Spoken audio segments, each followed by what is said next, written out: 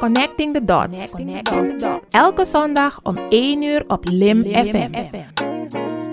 Een kritische kijk op de dingen van de afgelopen week die in verband gebracht kunnen worden met het verleden en de toekomst. Op Lim FM. Connecting the Dots. Kritisch, opbouwend, ondubbelzinnig, onpartijdig, maar bovenal eerlijk. De overpeinzingen van Rappa in Connecting the Dots. Zondagmiddag 1 uur Lim. Connecting the Dots. Luisteraars, goedemiddag. Het is zondag 7 april 2024. We zijn er weer met Connecting the Dots. Jawel, vorige week waren we er niet vanwege Pasen, we hadden u gemeld, maar een aantal mensen hebben me wel uh, gemaild en zo. Sap, sap, je duik onder toe. Ik dacht, nou, ik duik boven toch. Maar goed, grapje. In ieder geval namens Lim FM 91.7 of limfmsu.com. Ja, heten wij u van harte welkom. Ja, gunst, zes, hoeveel gebeurtenissen de afgelopen twee weken. Waarover zullen we het deze week hebben? Gewoon even een kleine uh, ja, takeover, hè? overzichtje. Zullen we gaan uh, schelden op Tjan of op Bota of op uh, Lonnie of op weet ik? Nee, dat gaan we niet doen. Ja, daar komen we geen stap meer voor, mee vooruit. Ja, natuurlijk om alles goed te keuren ook niet, maar we moeten rustig en kritisch blijven. Nou, we hebben in ieder geval dus wat beters te doen. We kunnen ons liever voorbereiden op de toekomst. Want het ziet er niet zo best uit. Niet alleen in ons land, maar ook wereldwijd. Vooral datgene dat daar in Gaza en in Europa, Oekraïne enzovoorts uh, aan het gebeuren is. En maar niet naar beneden gaat, maar juist naar boven gaat. Het escaleert maar step by step. Maar goed, welke items hadden we zo een beetje de afgelopen week? Sinds Pasen. Nou, ga niet alles uh, doornemen, maar toch een paar dingen eruit lichten.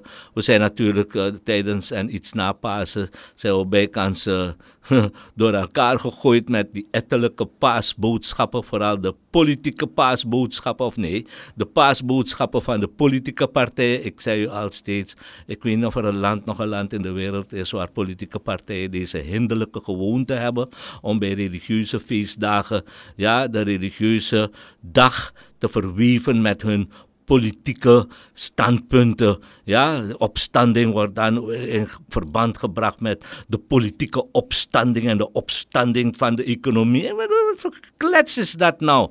Hou je bij je politieke boodschappen en laat de religieuze mensen bij hun religieuze boodschappen blijven. Ik lees die dingen gewoon niet meer. Ja, tijdverlies. Wel viel eentje me op, een van die paasboodschappen, waarin stond dat uh, Jezus, nadat hij was opgepakt, als gevolg van fake news als gevolg van fake news, ja, tot de kruisdood was veroordeeld. Ik bedoel, mijn gunst, ach, kom nou. Daarom zeg ik, er is ook kritiek opgeleverd. Dat, dat, dat doe je toch niet vanuit de politieke hoek. Ja, ik zeg daarom, laat politici over hun politieke dingen kronkelig praten. En alsjeblieft, laat ze geen dominee, pater Mulvi of pandit gaan uithangen. Laat die hun ding doen en laat die ook niet praten over politieke dingen en daar dus stukken ondertekenen en in de publiciteit brengen. Zoals de ouderen zeggen, schoenmaker, hou je bij je leest. Ja, en een leerling zei me van, wat leest hij? Ik zei, hij leest niets. Ja, die schoenmaker, die schoenenlappers, ja, die hebben zo'n omgekeerde uh, metaal. Het lijkt wel een voet. Ja, een voetvorm. Omgekeerd metaal staat het naar boven met die onderkant. En daarop zetten ze je schoen. En dan meppen ze dus uh, spijkertjes als die zo los is. Dat is die leest. Ja, die, die maat, die schoenvorm. Uh, en daar moet jij als schoenmaker, daar moet je bij houden. Je moet als schoenmaker geen chirurg gaan spelen. En als chirurg geen schoenmaker gaan spelen, om het bij wijze van spreken zo te zeggen. Maar goed, um, in ieder geval, daar hebben we dus ook het een en ander over overgeslagen, al die politieke paasboodschappen. We zijn benieuwd wat ze uh, bij komende It Ulfiter of Bodo, wat ze allemaal dan als politieke partijen gaan uh, rondbazuinen. Uh, u leest het maar hoor, ik niet. Het is voor mij geen enkele zin om dat elk jaar weer tot vervelens toe te gaan zitten lezen. Al die nou ja. Um, ik zie ook staan de afgelopen weken of week dat een nieuwe korpschef uh, uh, in, in place is. En hij motiveert zijn manschappen, want ja, hij heeft niet genoeg middelen uh, om te doen waarvoor hij ja, geordend is. Hij, hij, gaat roeien met de riemen die hij heeft. het is wel opvallend dat sinds zijn installatie er een aantal georganiseerde beroevingen uh, hebben plaatsgevonden. En uh, nu is de term zero tolerance geuit. Ach ja, hoe vaak hebben we dat niet gehoord de afgelopen twintig jaar? Ja, het is even zero, zero tolerance. En na een paar weken is het weer gewoon het oude liedje weer. Maar goed, um, ze hebben eigenlijk die nieuwe korpschef ik heb zo'n gevoel, het hoeft niet waar te zijn hoor. Hebben ze gewoon in de leeuwenkuil gegooid, ergens uh, naar boven getrokken, snel hoofdcommissaris benoemd en dan direct korpschef. Want je mag niet zonder die tussenfunctie korpschef worden. Maar goed, het moest maar zo misschien beter, ik weet het niet. Hij, de nieuwe korpschef, eh, beste toewensen, want we hebben er alle baat bij dat hij goed tot ontplooiing komt. Maar nogmaals, hij heeft de middelen, zo weinig. Maar ja, we hebben ook het geld niet om alle middelen voor ze aan. De brandweer krijgt eindelijk nieuwe schoenen ja, om over die hete grond te lopen als ze een brand moeten blussen. Maar goed, de nieuwe korpschef kan twee kanten op. U weet, twee weken geleden had ik dat uh, een beetje uh, aangehaald met uh, leiders wereldwijd. U kan zich misschien herinneren dat ik had aangehaald de jonge dame, toen nog Indira Gandhi van India, na het overlijden van haar vader en diens opvolger, de vader was Jawaharlal Nehru. En die opvolger die overleed ook heel snel. Moest er een nieuwe premier worden voortgebracht uit de congrespartij, de, de, de partij die de politieke macht in handen had. En degene die kandidaat was, die wilde de anderen niet. Toen hebben ze maar als een uh, tussenoplossing Indira als dochter van Nehru toen uh, uh, tot premier gebombardeerd. Ze was in het kabinet gewoon minister van, niet gewoon, ze was minister van propaganda en, en, en, enzovoorts. geen propaganda, tv en radio. En ze dachten, ach, dit is een makschaapje. Hè? Die, die, die overroelen we zo, die wordt zo'n puppet on a string. Nou, Binnen een jaar had ze al die tegenstanders binnen de congrespartij aan een kant gemanoeuvreerd. Men had niet door dat al die jaren dat Nehru toen door de Engelsen vervolgd werd vanwege zijn nationalistische uh, uh, praktijken tegen de Engelse overheersing. Hij zit steeds in de gevangenis en van daaruit schreef hij aan Indira vele brieven. Ze was toen tien jaar en ouder werd ze. En ze heeft al die dingen goed begrepen wat haar vader door schoolde, dus politieke scholing, was top. Dat hadden ze niet geweten.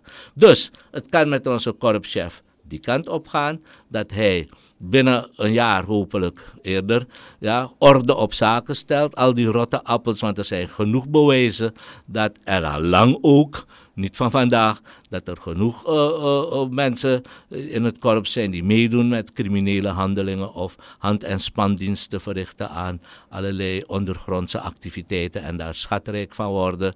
Ja, en ogen dichtknijpen en bepaalde dingen faciliteren.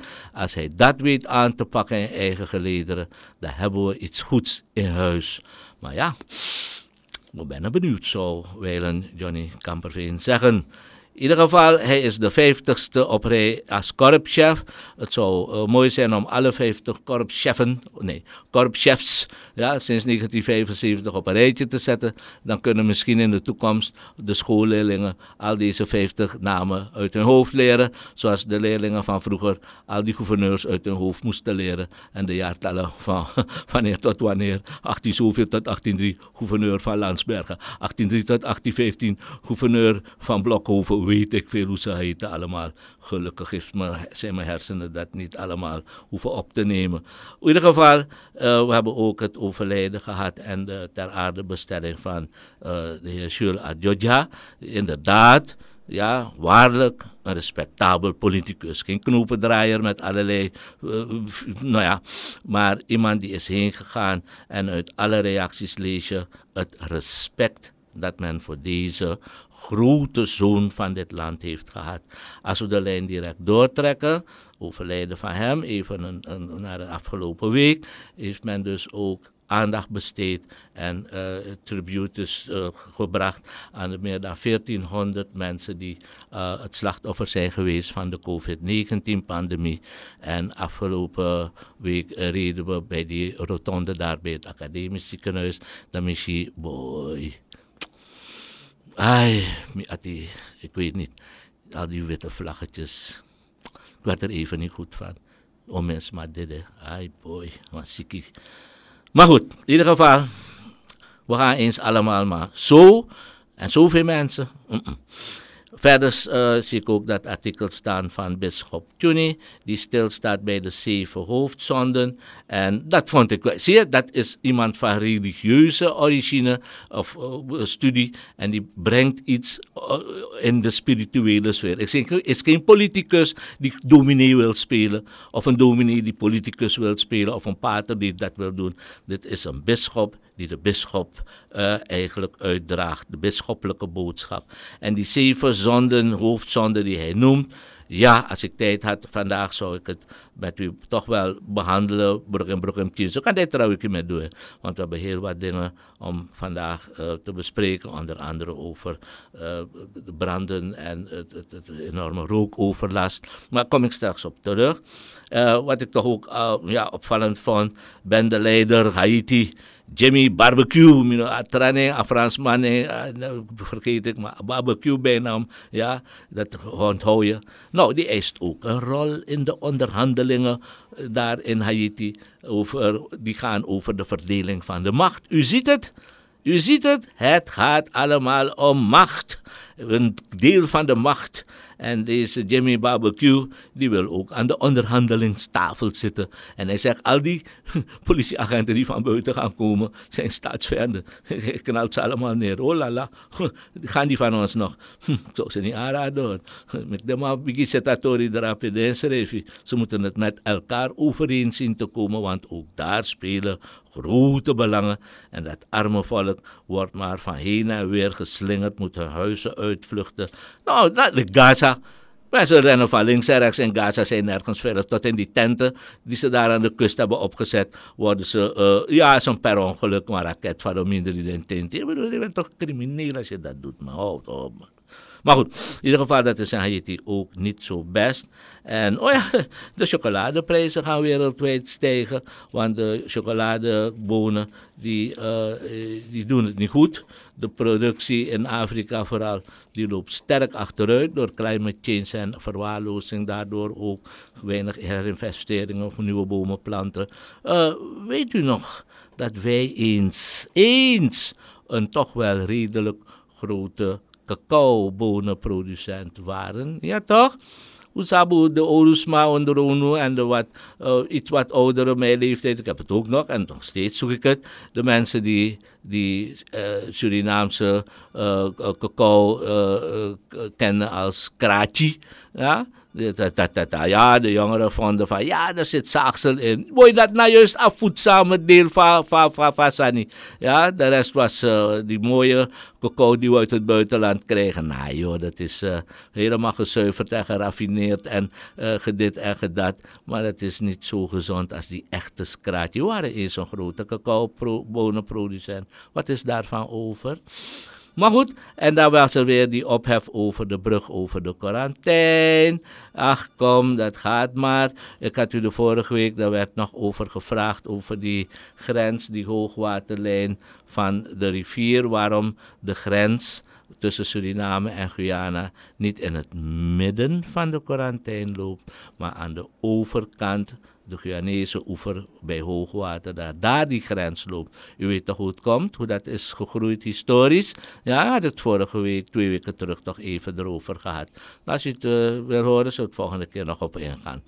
Um, zelfs uh, in het bisschopshuis staat hier zijn dieven uh, koper, koper gaan stelen.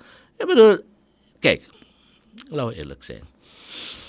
Ik vraag u, waarom kan de opkoop van oud en nieuw koper, kopro, waarom kan die opkoop niet per onmiddellijke ingang gestopt worden? En een hoge boete, 10.000 gulden desnoods, uh, leggen aan de opkoper die koper opkoopt. Waarom kan dat niet? Wat is het economisch belang voor ons als land dat er koper wordt opgekocht? Als je zegt oud ijzer, oud roest, oud aluminium, verwrongen staal. Oké, koop op, scrap. Maar waarom moet of mag koper worden opgekocht? Weet je hoeveel ellende dat de afgelopen jaren heeft veroorzaakt?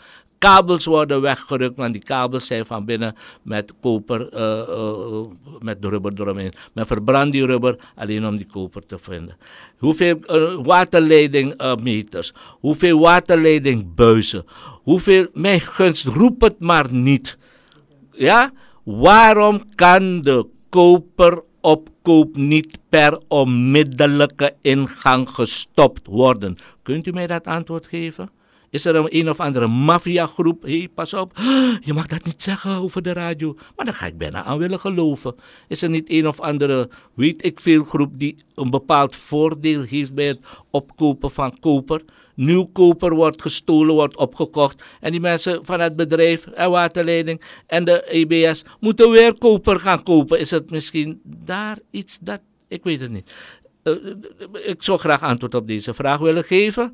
Als die lieve jongens van ons in de assemblee dit soort vragen zouden stellen, in plaats van allerlei vragen die toch niet beantwoord gaan worden of kunnen worden, dan zou ik wel heel tevreden zijn. Maar goed, ook in Venezuela heeft men last van bosbranden. En, of ook, wij niet, maar wij hebben van uh, moerasbranden. Ja, maar in Venezuela hebben ze ook een record aantal bosbranden. Uh, en dat is daar ook niet best met die droogte. En afgelopen week hebben velen ook naar die aanrijding op de afdamming van de Oost-West. Naar aanleiding daarvan was met een drone ook mooie opnames gemaakt. Nou, mooi. Ja, oké. En vele uh, bellers hebben niet ingebeld, ze hebben via de app gereageerd en wat voorstellen gedaan uh, hoe wij de brander die dus zoveel rookoverlast veroorzaken, hoe wij die te lijf kunnen gaan. Ik, ik dacht dat het toch wel nuttig zou zijn om een paar van deze voorstellen uh, straks te belichten. En zo komen er nog meer items en uh, allerlei uh, politieke items en, en, en ook. er was ook een artikel dat als kop had, misschien wil ik ook daarover wat ingaan. Eentje had als titel, wat ik wel weet is dat Chan Santoki nooit meer terugkomt. Dat is de titel van dat artikel. Stond in Waterkant Nieuws, als ik me niet vergis. En uh, weer een andere bedweter. Uh, dit is, ik zei net deze een bedweter was. Maar weer een andere uit het noorden, een bedweter misschien, vond uh, in een ingezonden stuk waarom Jenny Simons niet acceptabel is als presidentskandidaat. Ach kom, laat hij liever daar in Nederland gaan kijken wie daar de presidentskandidaat, of minister-president gaat worden, dan om hier te komen bemoeien in onze Tory. Ja, het is onze Tory. Wij, wij weten wel hoe we dat aanpakken. Niemand hoeft vanuit het buitenland ons te komen opjutten, want die is niet goed, die is niet goed, dit is niet, dat is niet goed. Uh, wat is wel goed? Jij dan? Als inzender van dat bedweter, nou ja goed, laten we maar niet zeggen. Ik zei u al, ik zag een artikel met als uh, onder de titel dubbele punt, aanhalingstekens openen. Wat ik wel weet, is dat Chan Santoki nooit meer terugkomt. Dacht, sang, wasabi sodja aan het woord, wie is dat dan? Nou, en in dat artikel, ik ga de naam niet noemen van wie het is, maar het is een van onze activisten, die dus de laatste jaren is opgekomen. Ja, dus die vond dus dat uh, na het onderduiken van de voorzitter van de NDP, uh, wil niet automatisch zeggen dat de andere kant, Chan Santoki, automatisch de uh, tweede termijn zal ingaan. Oké. En dan zegt die activist in dat artikel van hem dat er mensen zijn die geloven dat Bouterse de enige serieuze tegenstander is van Sheriff Santoki. Ja, dat, dat, dat er mensen zijn die geloven, dan hebben ze geen idee waar het over gaat. Hm? Dus dus er zijn geen andere serieuze. Hm? En wat is het enige idee? Waarover hebben ze geen enig idee? Wat, wat bedoelt hij? Waarom weten die mensen het niet waar ze het over hebben als ze dat zeggen? En dan zegt die uh, geweldige uh, meneer dan, die alles weet, ja, hij zegt, wat ik wel weet is dat hij nooit meer terugkomt. Oh, hoe weet je dat? Uit welk onderzoek heb je dat gehaald en, en uit welke hm, zienswijze? Maar goed. En hij was een van de trekkers van de Organic Movement in 2022. Ja, dan kunnen wij ook zeggen, wat wij wel weten is dat die hele organic movement zichzelf van kant heeft gemaakt op het moment dat ze bezig waren de, het grote alternatief te worden in Suriname. De dag dat ze uitgenodigd waren om met de regering te gaan praten die maandag, laten ze het afweten. Omdat eerst de regering moet dat goedkeuren, eerst de regering moet dat af... Eh, daar heb je die man, de tegenstanders, de kans gegeven om zich te hergroeperen. Ze hebben zichzelf om zeep geholpen. Dat hoeven we niet te geloven, dat is zo. Dan moeten ze nu niet achteraf allerlei dingen komen uh, uitkraaien. En anderen die het wel hebben kunnen maken ja, in de politiek. Ja, een soort jaloezie. Maar goed, oké. En dan gaat die geweldige activist dan verder. Ja, die oud-organic activist die zegt dan dat er een aantal politieke partijen in Suriname zijn die enige weerstand kunnen bieden aan de ambitie van het huidige staatshoofd om terug te komen. Nou, punt 1 een aantal politieke partijen, zegt hij, ja, die enige weerstand kunnen bieden tegen dus een tweede termijn van Santoki, om het zo te zeggen. Als politicus, hebben over de president. Maar over de president, oké. Nou, kan die meneer de activist een paar van die aantal politieke partijen noemen? Die dus uh, dit uh, kunnen, uh, weerstand kunnen bieden aan die ambitie van meneer de Dinges? ja, nieuwe president, ja, de oude die opnieuw komt. Ik weet het niet. Hij noemt geen namen van aantal. Aantal. Hm, waar je toch zomaar naar de aantal kan je stemt op denken toch? Ja. En waarom mag de huidige president geen ambitie hebben om terug te komen? Ik bedoel, is dat, is dat verboden bij wet of zo? Ja. En, en, en, en, en, en, en hoe komt hij terug? Gewoon zomaar met die auto? Nee, er moeten eerst verkiezingen komen. Er moeten eerst assembleeleden gekozen worden. Eh? Er moet de voorzitter van de assemblee en daaruit wordt dan de nieuwe president gekozen. Hij komt niet terug, hij wordt opnieuw gekozen of zo. Men moet toch ook dingen juist zeggen als men ambities heeft om ook naar boven te komen. Ja? En wat bedoelt hij met uh, zijn partijen die enige weerstand kunnen bieden aan de ambitie van het huidige staatshoofd om terug te komen? Die enige weerstand kunnen bieden. Wat bedoelt hij met enige weerstand? Dus op straat gaan liggen of gaan bivakeren of alles kapot gooien of gaan staan schreeuwen op het plein. Is dat enige weerstand gaan bieden? Gaat dat soelaas brengen? De enige weerstand die je kan bieden, als je het weerstand wil noemen, is dat je tenminste genoeg eh, stemmen achter je weet te vergaren, zodat je genoeg zetels kan binnenbrengen. En dan kan zeggen van, wij stemmen in de assemblee, onze gekozen assembleeleden, ja, de weerstandsassembleeleden, die kiezen niet voor de huidige president om terug te komen. Dan kan je weerstand bieden, maar niet met je mond zeggen, volgens mij is er weerstand en volgens mij is er dat, volgens jou wat. Nou, volgens jou, zomaar naar jou, zou, je, zou de ouderen kunnen zeggen, dat zeg ik niet hoor. Dat zou je graag niet willen horen, maar goed. Oké, uh, dus ik, ik vind zo'n reactie dan nog opgenomen in een uh, toch wel veel belezen krant, dat vind ik toch wel een beetje, ja, nee. Uh -uh. En wil je met zetels binnenkomen om weerstand te kunnen bieden aan die ambitie van het huidige staatshoofd, ja, dan moet je tenminste 5500 stemmen achter je te weten te vergaren. Ja, ik weet niet hoe je dat gaat doen, via welke partij. Als je die 700.000 gulden hebt gestort als waarborgsom om mee te kunnen doen, ja, moet je minstens 5.500 stemmen. Dan heb je één zetel. En ik weet niet of je met één zetel al weerstand gaat bieden tegen een partij die minstens uh, 12 tot 15 zetels zou kunnen halen. Oh ja, en die Sabiso-activist die vindt, zegt hier, in ieder geval weet hij dat de VHP niet meer terugkomt met een sterkte van 20 zetels. Hij weet het. Asabi, zijn mensen die in de toekomst kunnen kijken. Ze hebben een glazen bol, een glazen politieke bol. Dan kijken ze erin als ze hier staan. VHP, zien ze olifant staan. Drie zetels. Nee, oké, okay, goed, nou, ik niet te gek, maar twaalf zetels. Dat zien ze in die bol staan. Ja?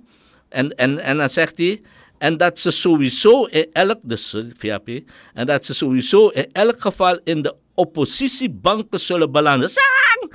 Ah, activist, die is na zo jongen. We moeten deze man dus nog meer die orakeltaal dingen van hem laten vertellen wat hij allemaal in zijn glazen bol ziet. Hij weet gewoon dat de VHP sowieso in elk geval in de oppositiebanken zal belanden. Dat kan waar zijn natuurlijk. Maar op grond waarvan weet hij dat deze activist, ex-organic man. Of is het een wishful thinking die hij dus als een zekerheid presenteert? Dat heb je ook. En als je niet oppast, dan trap je erin en dan zie je het als waarheid. Dat is een wishful thinking. Hij wil niet graag dat uh, die VHP weer in de regering komt. Waarom weet niet? Als er genoeg mensen op ze stemmen. Als ze wel uh, eh, 14 maal de kiesdeler van 5,5 halen. Dan, dan, dan, wie ben jij met je activisten uh, gezicht om te zeggen dat, je, uh, dat dat niet gaat gebeuren. Gevaarlijk boy. Ja, tjaring. Uh -huh. Maar goed, uh, ja, dan wordt er gezegd, de, de huidige president was als politicus degene die ons zoveel had beloofd. Mosetting, Welke politicus belooft niet? Ik bedoel, als jij zo, zo naïef bent om politici te gaan geloven in hun verkiezingstijd, dan je nou dom. ja, dom. Je kan vanaf de tijd van voor Pengel en Pengel en daarna, ja,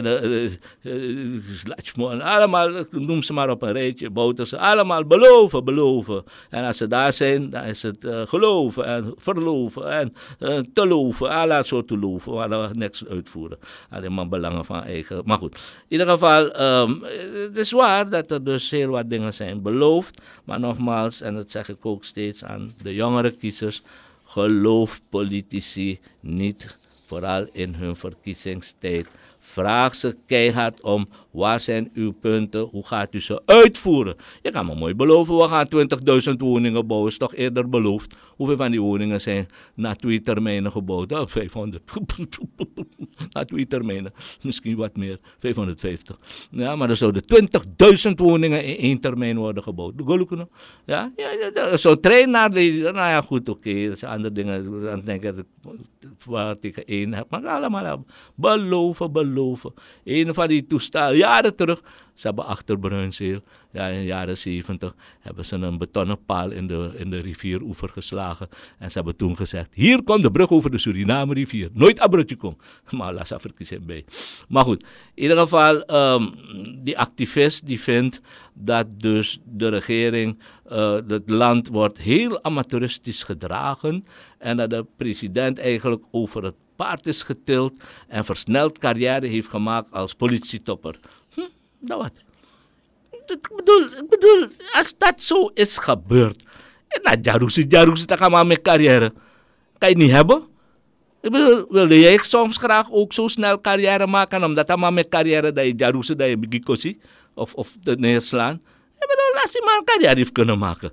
Wie zeg je, boy, ik gevaarlijk hoor.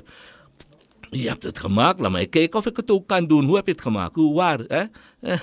Maar goed, in ieder geval, dus dat, dat, dat is ook een nogal amateuristische manier om politiek te bedrijven. Door de tegenstander maar uit te schelden. Daar kom je ook geen stap mee vooruit. Of denk je dat omdat je de tegenstander uitscheldt, dat jij dan beter gaat zijn dan dat ik op jou moet stemmen? Oh nee, echt niet hoor. Ja? Maar in ieder geval, uh, uh, de activist gelooft, dat, gelooft er niet in, dat vind ik een mooie. Deze activist van die, die ex-organic uh, activist, die gelooft er niet in dat vele zaken die misgaan in de regering alleen de schuld zijn van de coalitiepartner ABO-PL. Oké, Dat, is gesteld. Dus van die vele zaken die misgaan, ja, paspoorten dingen, nou, oh, gaat ook mis. Gronduitgifte daar, uh, uh, stalweide is ook mis. Is, is, is, is, is niet alleen de schuld van ABOPL. Daarvan wie is het wel de schuld? Is het alleen de schuld van de VHP?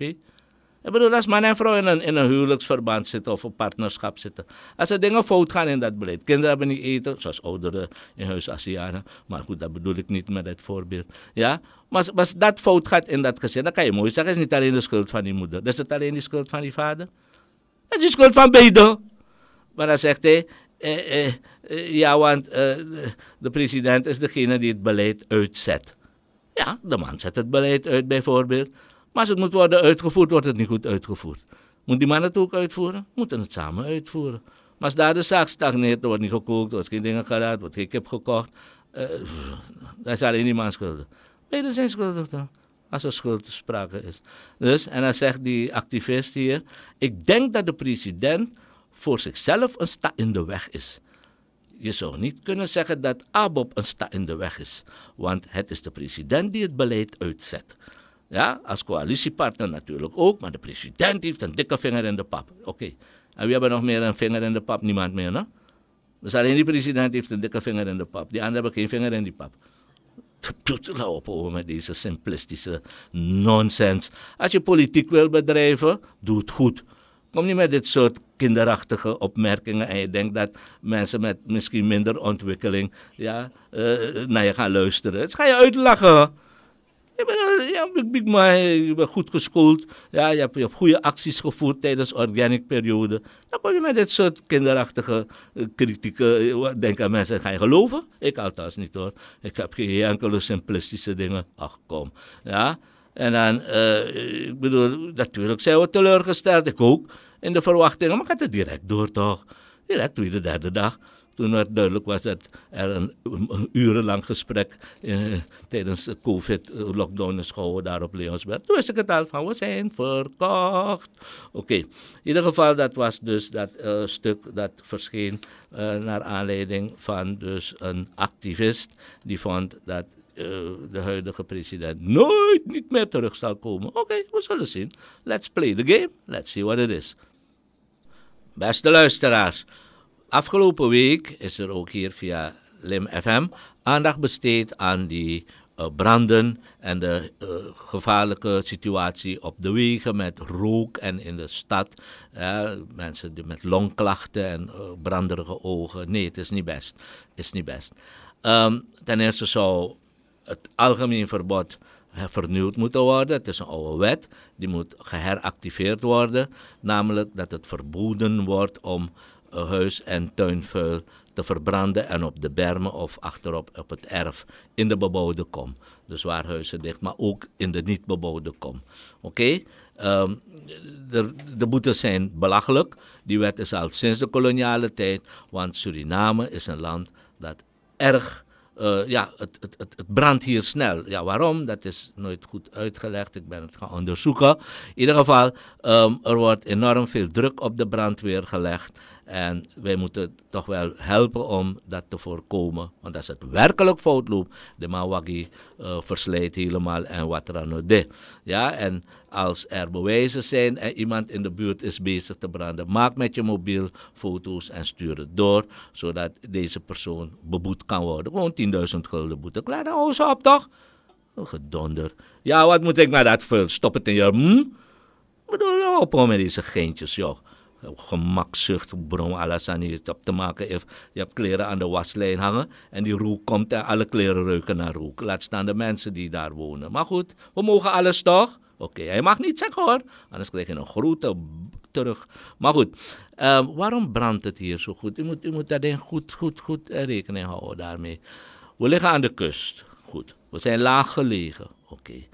Uh, dat is niet alleen de enige oorzaak, maar het is een belangrijke oorzaak.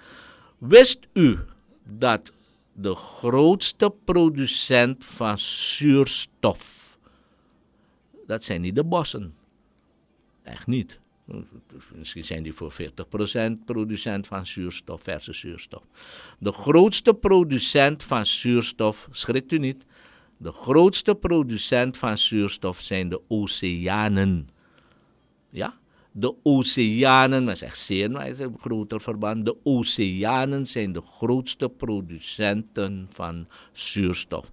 De oceanen, gezonde oceanen en niet die vervuilde delen, die zitten vol met uh, microplankton, uh. Die geven het water van de oceaan een groen-blauwige kleur. Je ziet ze niet met het blote oog, maar onder de microscoop ga je ze zien.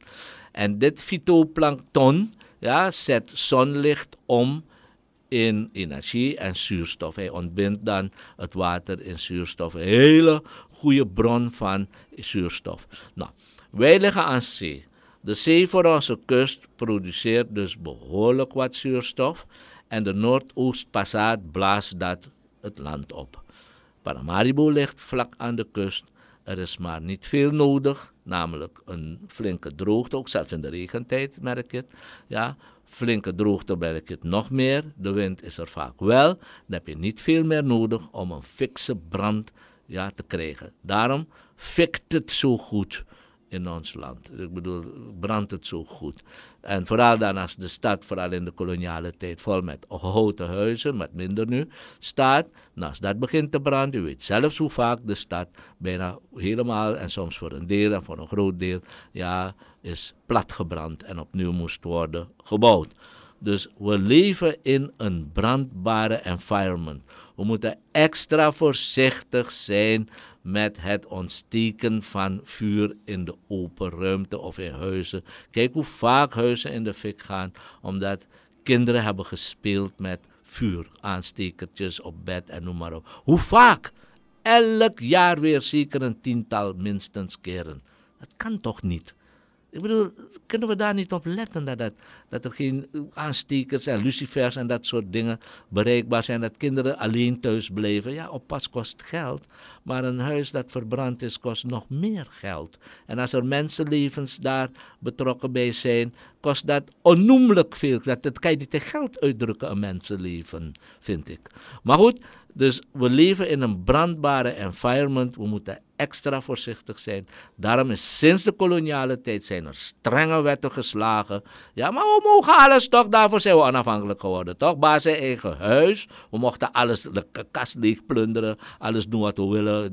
Nou ja, goed. In ieder geval, uh, deze wet moet geheractiveerd worden. Er moeten, zoals in andere landen vaker ook is gebeurd, en in Suriname in het verleden ook, er moeten brandwachten worden ingesteld. We hebben genoeg hoge gebouwen, we hebben drones. We kunnen van een hoogte af directie waar er rook is, u weet het, waar er rook is, is er vuur. Dan kun je van hoge, hoge afstand direct zien, hé, hey, daar heb je wel mijn bron. Goed, ga die kant uit, stuur een drone, laat ik kijken wat is en dan direct uitdrukken. En de boel daar blussen niet alleen. En niet geen waarschuwing geven. Wat waarschuwing? Wat is dat nou? Net zoals iemand die gestolen heeft bij de politie of de douane of zo, die wordt buiten functie gesteld. Wat is dat voor nonsens? Buiten functie stellen, heb je de, kast leeg geroofd. Je moet worden opgesloten.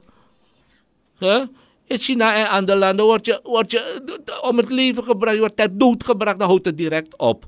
Maar nee, we gaan niet ter dood brengen, we hebben het uit onze wet gehaald. En vanaf toen is het maar een, een, een free-for-all geworden. Mensen gaan naar het werk en twee punt, weet ik wat, piep, die willen je auto roven. Gelukkig gaat dame bieden weerstand. Maar voor hetzelfde geld hadden ze er neergestoken. Dan wat? Dan zijn arme jongens. Kom nou. maar goed, in ieder geval, uh, we zijn dus, kijk, er waren, ik had u al een keer verteld, een, een groepje van uh, deskundigen was vertrokken naar een Zuid-Amerikaanse hoofdstad. Ik dacht dat het La Paz was, ja, en die ligt op 3 kilometer, zoveel hoogte, kilometer hoge stad. En het eerste, uh, Peruja moet het zijn, toch? En het eerste wat die man opviel, ik had het niet verteld misschien, maar ik kan dit wel eens, kan ja. Uh, bij het hotel moest hij maar één trap omhoog, eerste verdieping. En die lobbyjongen die zei van, sir, I, I bring your luggage upstairs. No, no, no, no, no, I can do it. It's not heavy. Luca, man. Die vriend van me is die eerste treden, 5, 6, 7, 8, 9 treden, tussenstap om die volgende trip naar boven te gaan. Paar maal knap drapen. Aan mijn hegen. Maar ik zei zo omdat je zit op drie kilometer hoogte of meer. Er is weinig zuurstof in de lucht. Oh, nou, Amma hield van zijn sigaretje roken. sigaret ging niet aan. Er was te weinig zuurstof om die sigaret aan te maken. En als het eindelijk aanging, moest hij heel hard en snel achter elkaar trekken. Anders af hij doof. Zuurstof, er is niet genoeg zuurstof in die lucht. Ja? En het mooiste wat hij vertelde was toen hij terugkwam. Die stad, La Paz moet het zijn, even na ja, dat is La Paz, heeft geen brandweer. Nee? Geen brandweer. Nee, zo'n grote stad. Nee, ze hebben geen brandweer. Vuur, vuur daar niet. Het, blijft niet aan. Het doeft, het doeft uit zichzelf. Te weinig zuurstof. Dus de hoeveelheid zuurstof is hier enorm hoog vergeleken met hooggelegen steden als La Paz. We moeten extra voorzichtig zijn met vuur. Ja, oké. Verder, wat wij nu te kamp hebben, zijn moerasbranden. U weet misschien in de jaren 60 was er ook zo'n droogte, als ik me niet vergis. Toen zijn die drooggevallen moerassen in Kommerwijnen zijn in brand geraakt.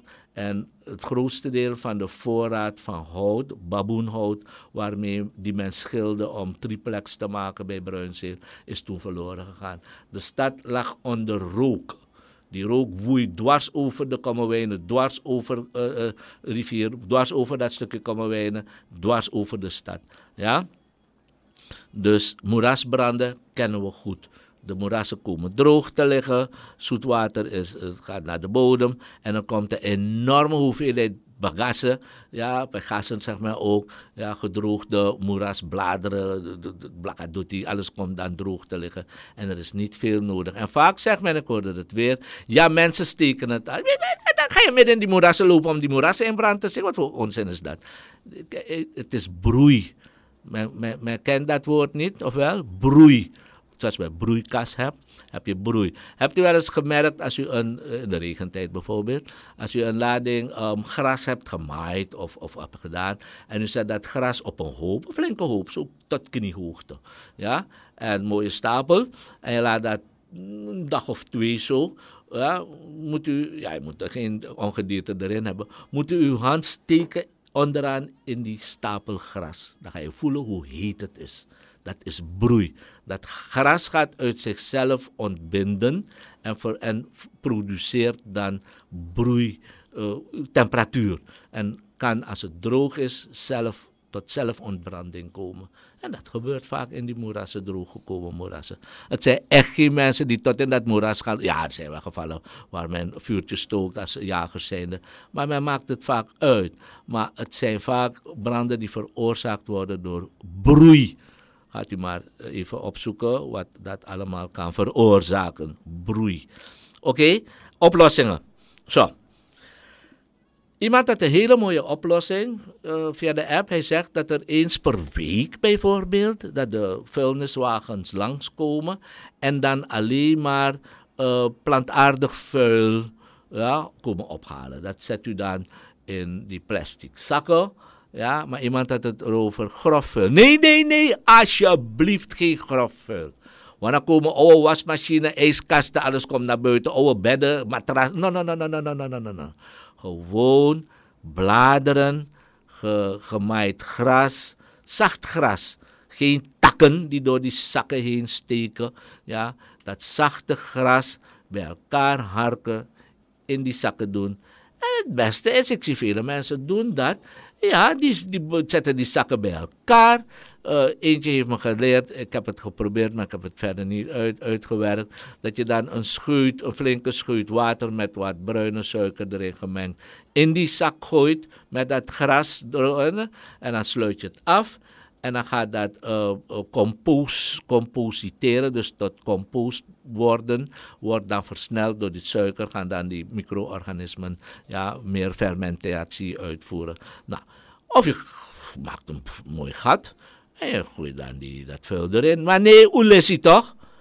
Zegt men. Dan gaan we maar lekker branden, boel onder rook zetten. Mensen met astmatische klachten, al, al worden ze gehinderd en hoesten ze hun keel uit. Dat is niet erg, is mij erg. Ja, ik, ik, ik, baby's mogen er ook lekker van genieten. Ik doe het wat ik wil. Oh, je doet wat je wil, no? Me kwam aan doen, patabutu tien gulden, dan ga je zien. Eh, nee, het is per ongeluk, beambte. per ongeluk. Gewoon ophouden ermee. Verder um, moet men dus in de regentijd al moet men zorgen dat alle leegstaande percelen, er zijn er duizenden in Paramaribo Noord en Zuid en West en Oost. Nee, Oost niet. Ja, West. Oh ja, ook. Van die openstaande bouwkavels, die moeten bij wet, wet, moeten die gemaaid worden tot uh, enkel hoogte. Worden ze gemaaid? Nee. De mensen zitten vaak in Nederland daar te speculeren als een stel, nou ja. En uh, ze doen het niet. Nou, de, de, wet is er toch? Die gronden zijn toch hier? Ja, is eigendom. Ja, is goed, is eigendom. Ja, maar we zeggen dat je daar olie mag gaan boren. Je bent gek. Je moet het onderhouden. En als je het niet onderhoudt, krijg je een boete. En al woon je in Holland, dan wordt die boete in euro opgelegd. En uh, het wordt gepubliceerd, kavelnummer zoveel aan de die en die straat, kavel die, die, die. Ja, uh, de, wat? De overheid zegt, ik ken mijn verantwoordelijkheid, ik ga het zelf maaien voor je opharken, want tegenwoordig maait men. Maar al die rommel blijft liggen met al die petflessen langs de weg, langs die bermen daar op een naam staat, moet je zien. Ja, er wordt niet geharkt, want dat moet een andere afdeling doen. En die heeft geen harken, die heeft geen pick-ups. En dan blijft die rommel daar hangen. Het, het verspreidt zich ook. Mijn god, wat een morserij, wat zijn we toch een slordig volk. Eerst gooien we petflessen op de bermen. En als het dan gemaaid wordt, wordt die hele maisel met gras en petflessen en al wordt, blijft daar precies zo liggen. Het verspreidt zich. Als het regent, even, dan gaat er water in die petflessen zitten. Ga je dadelijk denken. Ga je horen, de regering doet niets. Chan doet niets. Wat doe jij? Begin alvast geen rommel uit je wagen te smeten. Bij die drempels moet je kijken. Vlak bij die drempels, een hele berg rommel aan Amitro, no? Oké. Ja, en als er daar dingen uitbreekt en, en, en vliegen gaan daar en, en muskieten gaan daar larven ook produceren, dan moet Jan het komen opruimen voor je. Huh? Jan heeft geen tijd, hij moet dadelijk naar China. maar zijn delegatie. Oké, de helft moet zelf betalen. Maar goed, oké. En die ene minister van alles heeft gezegd, dat gaat meer opbrengen, tienmaal wat het kost. Maar goed, het zal wel. Nou ja. Um, in ieder geval, uh, men moet dus daarvoor inderdaad zorgen dat die openstaande percelen gemaaid worden. Indien het niet gedaan wordt, doet de overheid dat. De kosten van het maaien en schoonmaken en harken, ja, die worden op de naam van de eigenaar geplaatst in euro als die in het buitenland woont. En als die kosten bijvoorbeeld na een aantal keren maaien, ja, met rente van 10% per maand, als die kosten dan uh, bijvoorbeeld 5000 euro overstijgen, dan wordt dat perceel openbaar genaast. Dus, dus in beslag genomen bij wet en geveild, zodat de overheid de kosten af kan trekken. En de rest mag de nazaten of de eigenaar komen halen bij de centrale bank. Wordt het gestort in SFD. Klaar. Dan ga je zien hoe snel plotseling al die erven worden gemaaid en dit en dat. Kan je nog herinneren? Toen helaas Welen, uh, major Horp, Horp had gezegd dat alle trottoirs moesten worden gemaaid en schoongemaakt worden. Anders zou de NMR even komen optreden. Boy visi, alla soort libisma kring mofodoro. Allemaal in borstrokken, blote bovenlijf. Oké, okay, eh, Major Horp heeft een van die oudere mensen toen afgeblaft daar. En is toen, zo groot als hij was, zijn excuses gaan aanbieden aan mij. Ja, ik had je weggeschud, maar ik had die bedoeling, dus excuses aangeboden. Weet hoe hij sprak. Ja, nou, dat, dat, dat, die, die was groot. Maar goed, helaas. Ja, dus toen moest je zien, alle mofodoro's waren schoon. Want anders NMR kon voor je. Nou, dat is de enige manier wat helpt. Ja? Dus op deze manier moet men dan voorkomen alvast dat er leegstaande panden, uh, erven met hoog opschietend gras zijn, die in de droge tijd verdrogen. En na één vonk en broei is nodig, of een sigarettenpeukje, of god weet wat. Ja, uh, en de boel vliegt in de fik en alle huizen eromheen lopen brandgevaar. Kan dat niet? Hebben we geen tijd daarvoor? Nu zie ik eindelijk dat men de wegen voorziet van witte strepen en zebrapaden. Maar dat gaat zo tergend langzaam. Eén ploeg van vijf mensen. Ik denk dat ze over tien jaar pas klaar met de hele stad. Maar goed. Dus we hebben geen geld zeker voor genoeg verf of die mensen te betalen. De veiligheid van het verkeer hangt af van de beleiding, bestriping en stopstreep en noem maar op. Want mensen zien geen stopstreep. Dus wat gaan ze doen bij die hoek? Ze steken hun neus van hun wagen tot voorbij die stopstreep. Want er is toch geen stopstreep. Steken ze hun neus al bijna halverwege de, de, de weg waar ze op moeten rijden. Maar dat kan toch niet? Maar ja, er is geen stopstreep, er is geen geld daarvoor, geen belangstelling. Er is meer belangstelling en geld voor brug en weet ik wat. Ja, oké. Okay. Een andere oplossing was dus dat de overheid moet een brandweerluchtmacht. Mooi! Ik moest even lachen om die goed bedoelde, maar toch weer hilarische oplossing. Een brandweerluchtmacht instellen, ja, of op, op poten zetten. En die gaat met blus uh, vliegtuigen, ja, de moerassen blussen. Hey, hey, hey. Denk even na. No? Neem in gedachten een voetbalveld met hoog opschietend gras. Uh, dat nu in brand staat. Zo'n die brand schuift langzaam zo over dat voetbalveld. Dan ga je nu met tien drones, met elk een cupje water eronder, ga je proberen die brand te blussen. Gaat niet helpen, dat Wintewa. Ja, je houdt toch op, man. Weet je hoeveel vliegtuigen je nodig hebt met hoeveel bluswater om zo'n brand te blussen over zo'n eh, lengte van een paar kilometer schuift die brand dan op? Het gaat niet. En nu komt het tweede. Je hebt je helikopters, je brandblus helikopters of je brandblusvliegtuig heb je één keer dat water laten uit, uitwaaieren. Dat is binnen 10 seconden weer verdampt. Maar goed, je moet dan achter elkaar gooien. Maar dat vliegtuig moet terugkeren naar de basis, naar base. Vliegveld waar hij op stijgt, niet ver, of wel ver. Ja. Dan moet die gevuld worden weer met water. Hoe lang duurt dat? Als je tien vliegtuigen moet vullen met water, Waar haal je dat water vandaan? Uit de rivier? Waar, waar ben je? Oké? Okay? Uh-huh. Gaat niet. Voordat je terug bent met dat vliegtuig, die brandt alweer een kilometer verder gewaaid. Oplossing gaat niet helpen. We hebben gezien hoe ze het in Canada hebben geprobeerd. Daar hebben ze in het noorden, als de winter voorbij is, kijk je zomers, wordt het ook gloeiend heet daar in Canada, die zomers, en droog. En dan beginnen die bossen ook te branden, want al dat, uh, uh, die bladeren die daar liggen op de grond, die vatten vlam door broei. En wat heeft men toen bedacht? Weet, tussen die bossen heb je grote meren, platte meren. Ja, het ook geen bergen eromheen, plat landschap. Dat is gesmolten ijs. En daar hebben ze van die twin otters, extra wat wij hier ook hebben, die twee motorige, uh, maar met een grote tank eronder. En die tank die vliegt dan, die, die Twin Otter vliegt dan over dat meer. En je moet wel heel goed zijn als piloot. En dan schept dat vliegtuig dat water uit dat meer, heel voorzichtig.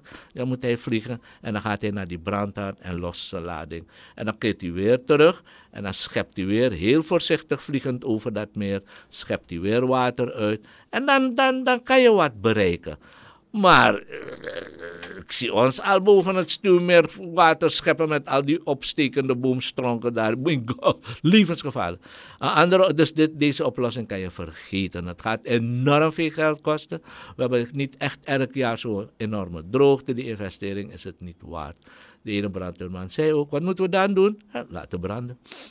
Het beste wat je kan doen met bulldozers, twee, drie bulldozers naast elkaar, die dan een brandgang, een tra, weet bij puzzel, uh, heb je dan dat woord, TRA, tra. Ja, een brandgang dozeren voor die brand in, dus een kilometer van die brand dozer je zo'n zo'n weg kan zeggen, dwars door dat moeras of zo. En dan hou je die brand daarbij beter tegen, plus die brandweer kan daar beter komen, want het is al een soort weggetje. Maar dat kost ook enorm veel, ja, want zo'n... Dit gaat echt niet makkelijk. Oké, een andere oplossing vond ik ook wel aardig. Dat was van, uh, we moeten uh, Frankrijk, Cayenne vragen om ons te komen helpen. Uh, helaas, ik denk niet dat ze gaan komen helpen hoor, echt niet. Ze komen echt helpen als bijvoorbeeld de stad bedreigd wordt door een enorme grasbrand, of noem maar op. Dus die oplossing gaat ook niet helpen.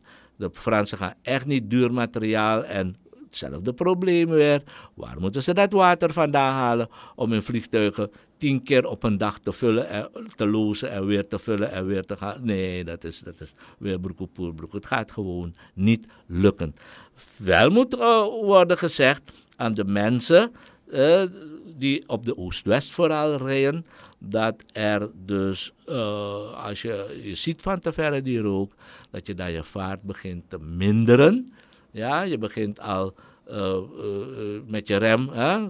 Weet je, je drukt een paar keer op je rem, zodat die achterlichten, remlichten gaan zien. Dat mensen die achter je rijden weten van, hé, hey, hey, want jij ziet al wat er daar komt en je mindert je vaart.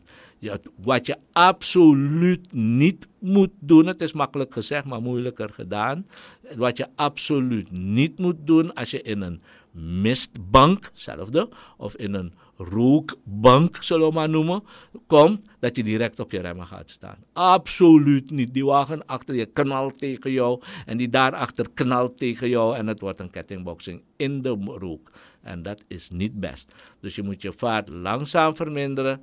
Ja, blijf rustig, tuteren. Dan hoor je ook voor je, oh ja, is er ook eentje, dan weet je ongeveer, die weg gaat nog rechtdoor. Ik hoef niet bang te zijn dat er een scherpe bocht is, ja, maar minder je vaart en begin luid te, nou, begin te klaksoneren. Ja, dat men weet dat er iets niet los is. En dan zie je die rook ook, dan weet je het ook. Maar goed, in ieder geval, het zijn van die wenken die men de mensen kan geven. Maar inderdaad, uh, blusvliegtuigen aanschaffen, hulp van Frankrijk. Uh, vergeet dat. Uh, het gaat niet lukken.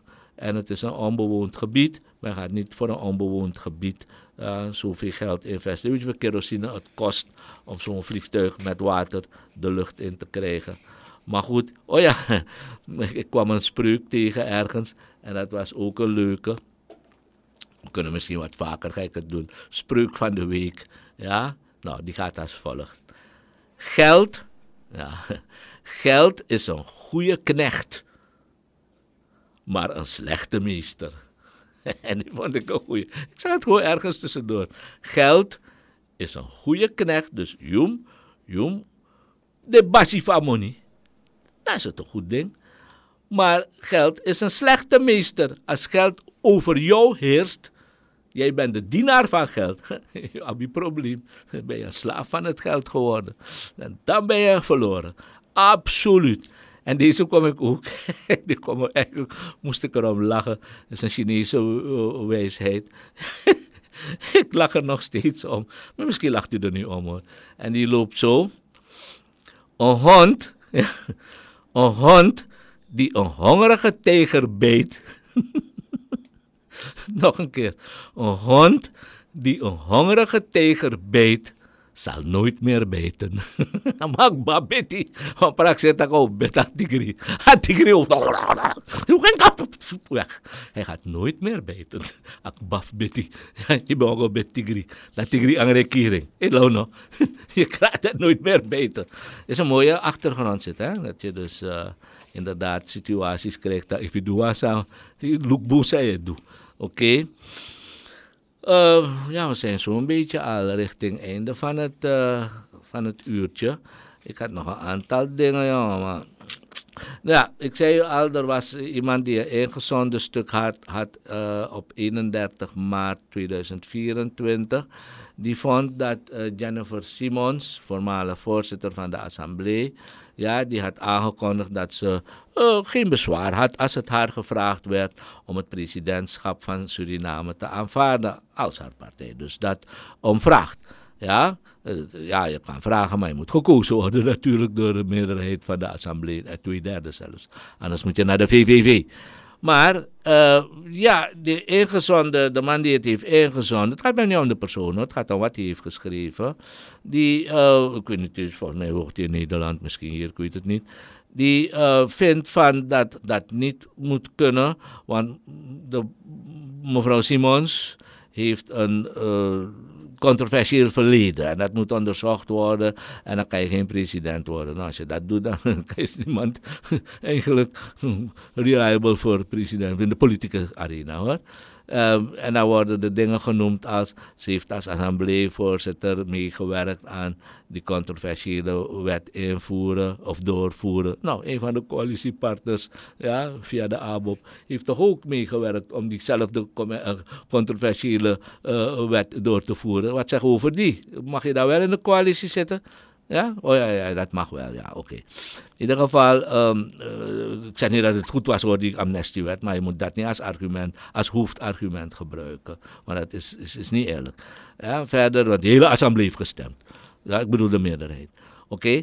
Eh, daardoor worden dus allemaal mensen vrijgesteld, bla bla bla bla bla. Oké, en dat heeft de rechtvaardigheidsgevoel en de verzoening in Suriname ernstig ondermijnd. En ja, allemaal mooie woorden en zo. Maar zijn mensen die met dit soort artikelen ook de verzoening in Suriname ernstig ondermijnen en ons tegen elkaar opjutten.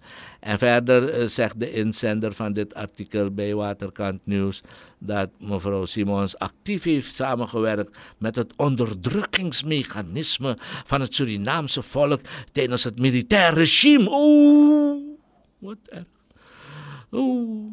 Ze heeft de revolutionaire beweging gesteund, die in werkelijkheid een instrument van onderdrukking was, in plaats van een beweging voor een ware verandering van vrijheid. Ach ja, nou, zal wel. ik bedoel, is er daarna iets beters gekomen? Dat wil niet zeggen dat dit waar, niet waar is. Dat, dat, is, dat is waar. Maar is dit alleen de enige periode en toestand geweest van onderdrukkingsmechanismen en uh, instrument van. Kijk hoe mensen nu. Ja, ja, de rechterlijke macht. Maar goed. Um, een ander punt van zorg is haar betrokkenheid bij het aanstellen van een veroordeelde moordenaar als president van Suriname. Haar betrokkenheid, oh, toen dus in de assemblee uh, de heer Bouterse tot president werd gekozen.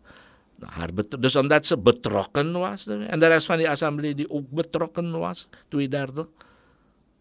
Wat about dat? Oh nee, maar het gaat om mevrouw, uh, mevrouw Zij wil uh, president worden. Dat mag niet, want ze is NDP is fout. Ja, is goed hoor. Ja, ga maar door. Zo gaan we er niet komen.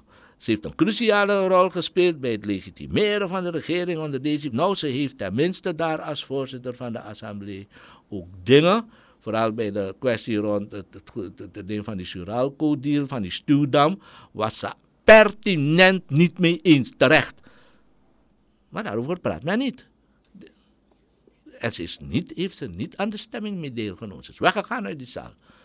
Ja, daarover praat men niet. Nee, we gaan alleen maar eruit pikken.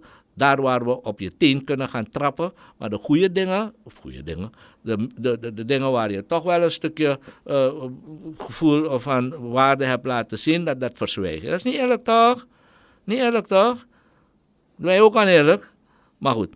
En uh, dan komen allerlei holle woorden als onrechtvaardigheid en schending van democratische principes. Ai, Ai, nu hebben we geen schending van democratische principes. Nee, nee, mensen worden echt niet een jaar in voorarrest gehouden en opgepakt als ze kritiek hebben op de Facebook en zo. Nee, nee. Het is duidelijk dat, zegt de inzender, dat die uh, mevrouw Simons uh, ernstig tekortschiet in morele autoriteit en integriteit, bla bla bla bla, om het hoogste ambt van het land te bekleden. Haar verleden getuigt van een gebrek aan respect en fundamentele blablabla, rechtvaardigheid, menselijke waardigheid, blablabla. Het oproep om het presidentschap te aanvaarden is daarom zeer omstreden, zegt die inzender, en verdient grondige kritische overweging van het Surinaamse volk. Wie bedoelt hij met het Surinaamse volk? De hele bevolking? Een deel van die bevolking staat achter de er zijn veel vrouwen die zeggen, nou goed, ze heeft tijdens Bouterse periode toch wel de partij, nou goed, uh, ja, zoals deel van die partij. Maar vele mensen zouden dan toch wel hun stem, vooral jonge vrouwen en oudere vrouwen, van, uh, dat ze tenminste het, vrouw zijn. Ja, ik weet niet of ze uh, de beste is, er zijn misschien beteren, maar hebben die een politieke ervaring? Zij heeft dat wel. Want als je daar eenmaal in die arena komt, hè, daar aan die hoofdtafel van die, van die politieke macht, dan moet je goed beslagen ten ijs komen, want drap je de biggie belangen plei. Ja, dan mag je integer zijn, honderdduizend hoe je wil. Hm, maar als daar die belangen gaan spelen, moet je weten hoe je dat spel meespeelt. Anders je baba, je kaba, dan moet je puri gewoon. Maar goed, en uh, dan wordt het mooi aan het einde van dit artikel. Ja? In een tijd waarin Suriname behoefte heeft aan leiderschap dat gebaseerd is op integriteit, transparantie en respect voor de rechtsstaat, is het cruciaal om kandidaten te kiezen die deze waarden eh, belichten. Wie kiest die kandidaten? Worden die kandidaten gekozen om president te worden? Wie kiest ze? Jennifer Simons met haar die zou dat niet doen enzovoort. Dus mensen, hier nou. De president en de vicepresident, dat worden degenen uit de partijen met de meeste zetels over een jaar. Niet de integerste en heiligste en geweldigste en moreels grootste en hoogste. Ah, zo werkt dat niet in de politiek. Wie dat niet doorheeft, moet niet, moet, moet, moet niet bemoeien met politiek en niet erover praten. Kijk wat er in Nederland gebeurt. Kijk wat voor koehandel op een laag. Jeetjes, met een of ander mens dat op een heks lijkt. Ja, die alleen maar ambities heeft om minister-president te worden. En dan een of ander wilde bras die daar alleen maar. Mijn hemel, die kan geen hoofddoekjes zien. En doet alsof hij ze in de ijskast heeft gestort, gestopt. En dan een of ander boerin die daar alleen op een tractor daar op het binnenplein van de uh, Staten-Generaal kon komen showmaken. Ja. En dan, een, en dan een meesmuilende figuur, ja, die zeer omzichtig alles omheen draait, wegloopt, huilt. Wat heb je aan zulke mensen? Maar ja, het zal maar het land zijn waar je bent. En dan kijken we liever naar onze maatschappij en liever niet naar anderen. Oké, dat zullen we dat maar doen. Abo luisteraars, dat was het dan weer deze week met Connecting the Dots. Namens Lim FM en ondergetekende Rappa wens ik u verder een genoegelijke zondag toe. Tot de volgende week. Connecting the Dots. Elke zondag om 1 uur op Lim, FM. Een kritische kijk op de dingen van de afgelopen week die in verband gebracht kunnen worden met het verleden en de toekomst. Op Lim FM. Connecting the Dots. Kritisch, opbouwend, ondubbelzinnig, onpartijdig, maar bovenal eerlijk. De overpeinzingen van Rappa in Connecting the Dots. Zondagmiddag 1 uur Lim.